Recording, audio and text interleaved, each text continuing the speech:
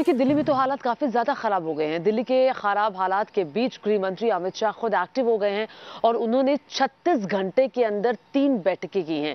मुख्यमंत्री अरविंद केजरीवाल से तो वो मिले ही हैं। इसके साथ आपको बता दें कि इसके साथ साथ वो राज्यपाल से भी, उपराज्यपाल से भी मिले और लगातार वो अहम बैठकें कर रहे हैं।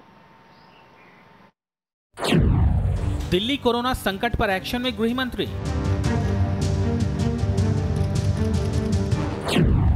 36 घंटे में अमित शाह की तीसरी बैठक।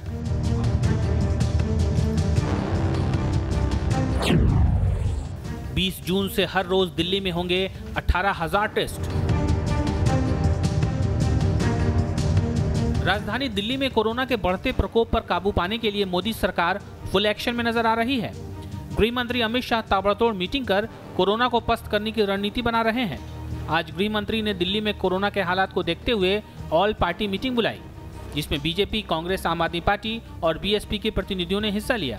बैठक में कोरोना को लेकर उठाए जा रहे फैसलों और सरकार के एक्शन प्लान पर चर्चा हुई तो वहीं विपक्षी नेताओं की भी राय पूछी गई।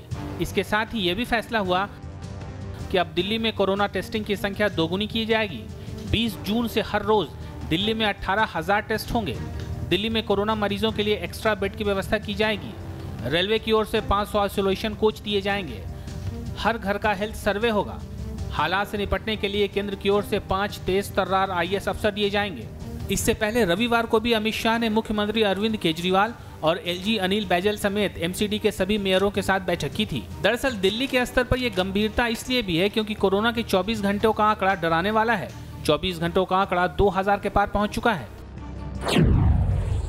दिल्ली में कोरोना संक्रमण के कुल मामले इकतालीस हज़ार एक सौ बेरासी के पार पहुँच चुके हैं। पिछले 24 घंटे में 2200 से ज़्यादा नए मामले सामने आए इस दौरान कोरोना के सात हज़ार तीन सौ तिरपन टेस्ट हुए जिनमें से 2224 सैंपल कोरोना पॉजिटिव पाए गए। 24 घंटे में दिल्ली में कोरोना वायरस से छप्पन लोगों की मौत हुई है। इसके साथ ही मरने वालों की संख्या भी बढ़कर 1327 पहुँच गई है।